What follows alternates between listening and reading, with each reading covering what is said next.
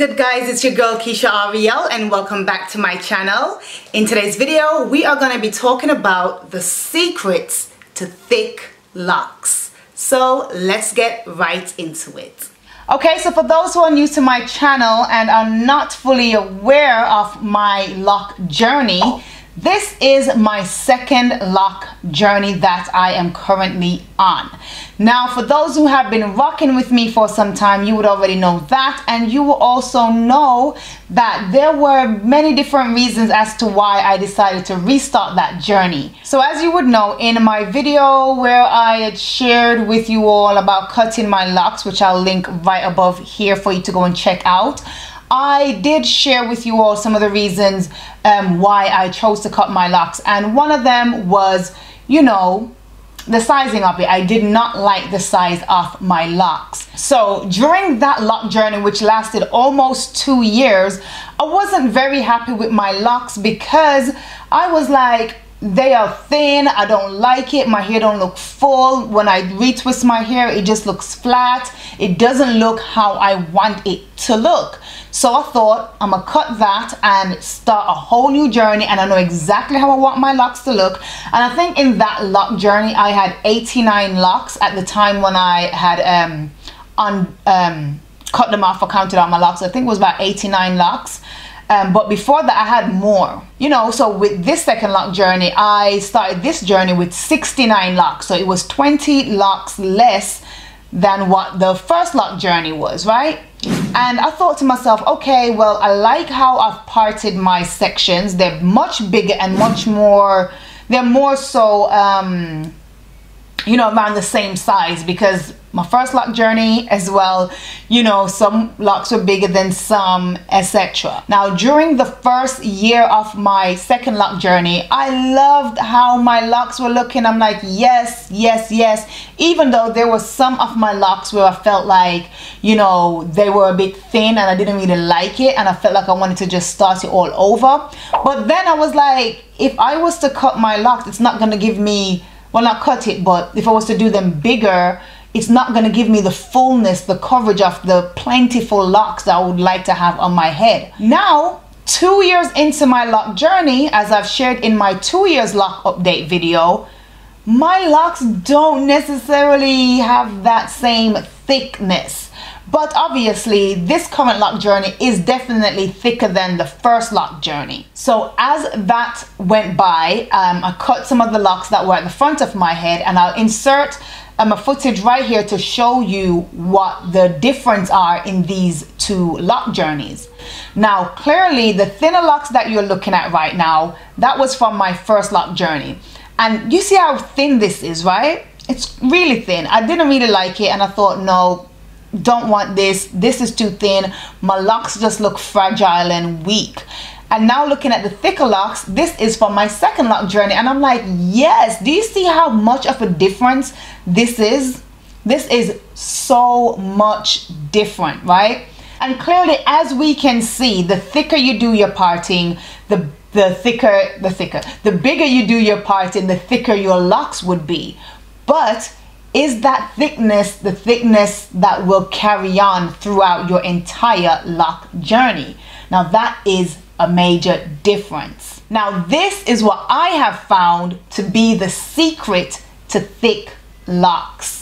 There's two main things that will determine the thickness of your locks and that is your hair's density and your hair strand thickness. When it comes to hair density, this simply means how much hair is within a square inch on your scalp. So have a look at this diagram that I've just drawn, right? Say this is a square inch of your head and I'm putting all these dots in this square meter right here. That is the amount of hair that is growing in just that small section of your head. Now, if you have a lot of hair in a small square section of your head, you know, square inch, sorry, and there's a lot growing there. Imagine now when you were to part out um, a section of your hair to do a, um, you know, to form a lock. Now there's a lot of hair in that one section right there. So when your hair starts to lock, it will be thick because you've got a lot of hair in this one section. Now, if you have a look at this section here, now if I put a little bit of hair in this square section, clearly, if I was to form a lock from that, then you can see that the locks would not be that thick it will come out quite thin. No matter how big you do your parting, yes, it will come out a little bit thicker, but it won't be as thick as you expect. Just like I've showed you with my hair in my second lock journey, clearly, you know, when I parted out a bigger section, my locks came out thicker than it was when I parted out a small section in comparison to my first lock journey. So the density, the amount of hair that grows in a square inch of your head definitely plays a major part in the thickness of your locks right? So you have to understand what your hair density is like.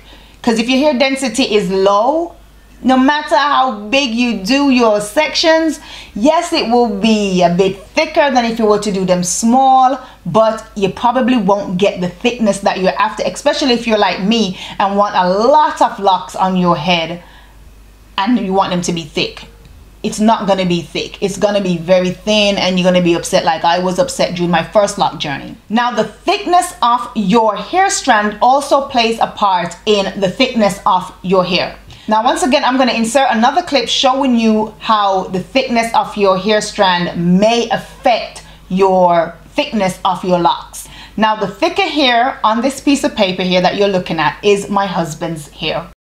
So if you have a look at his hair strand, do you see how thick his hair strand is in comparison to mine.